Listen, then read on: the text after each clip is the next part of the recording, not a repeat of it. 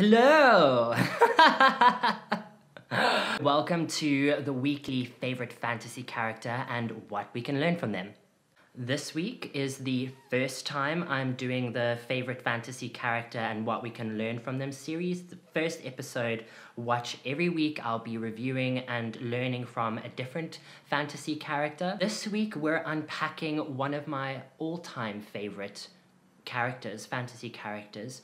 I met her in the first book that I ever read, first fantasy book that I ever read, and her name is Polgara the Sorceress. I first met Polgara the Sorceress in The Pawn of Prophecy by David Eddings, the first book in a series called The Belgariad.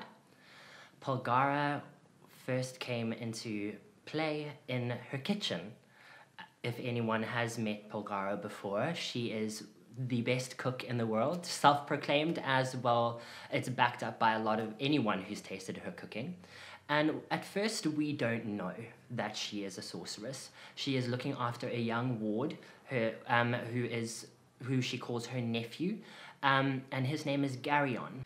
To give a very quick synopsis of Polgara, we first, if we're going to go according to the chronology of her life and not the chronology of book releases, Polgara comes into being in the womb of her mother, who was a shape shifting wolf who was married to the all powerful sorceress Belgarath.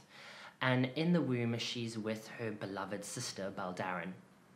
Fast forward a few years, and Polgara loses her sister, but her sister gives birth to a, a line that will one day end with Garion or Belgarion, who will satisfy the prophecy that ha- the that has been unfolding for millennia.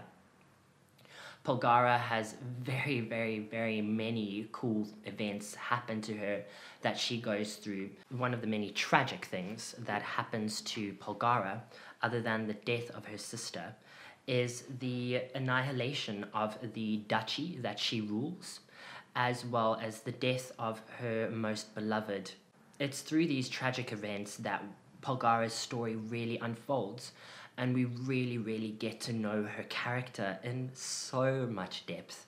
She is one of the, mo- the most multifaceted, depthful characters I've read in my life worth of reading. She is simultaneously an uber bitch with the biggest, kindest heart, a strength of character that is often undermined by her caring and by her will and her want to do what's right.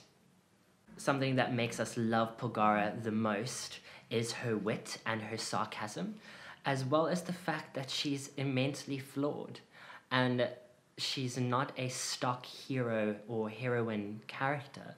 There are a lot of things wrong with her. She has a foul temper.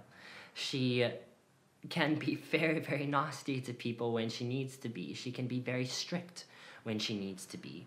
Um, but underlying all of that is this sense of caring and the sense of wanting to do what's right by the people she loves.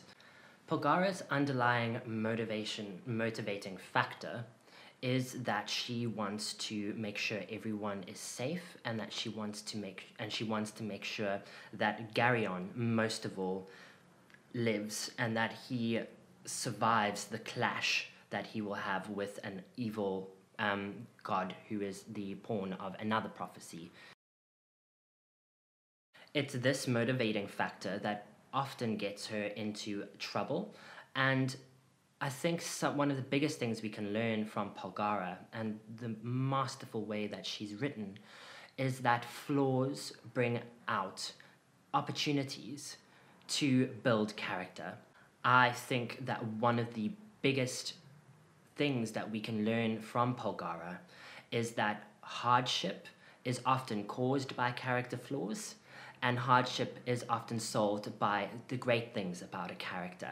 So, hardship for a character tends to be in the middle, and on both sides, the, the cause of the hardship and the result and the resolution of the hardship give you, as an author, opportunity to explore your character in a very meaningful human way.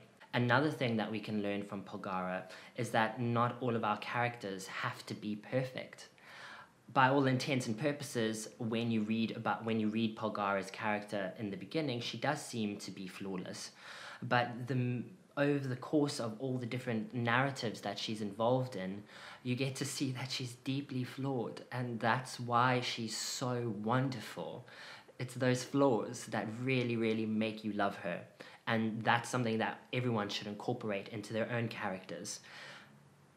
The last thing that I think we can learn from Polgara is that you can be you can create characters that are all powerful but that doesn't mean that they are invincible. Polgara has very many strong characteristics, and she's an incredibly powerful sorceress. But her weakness is the people that she loves. And that's giving people weaknesses, giving characters weaknesses, giving your characters things to lose, high stakes, really makes people care about them in a much more meaningful way. So, let me summarize. One, a character's flaws create hardship, and a character's best characteristics resolve hardships. Number two, flaws make us love characters. So give your characters flaws. It doesn't mean that they can't be all powerful and they can't be super, super great. Just make them have flaws. For fuck's sakes, nobody likes a perfect person. Except for me. You like me, right? Because I'm perfect. I'm not perfect. And third, give your character something to lose because this makes us care about them when they lose it. And that's a wrap. Thank you so much for watching my first se- my first episode in the series favorite fantasy characters and what we can learn from them. That one was a bit choppy. I am going to work on that and it's going to be a fun thing to start unpacking because there's so many cool fantasy characters and so many fucking cool things to learn from them. cool. Thank you.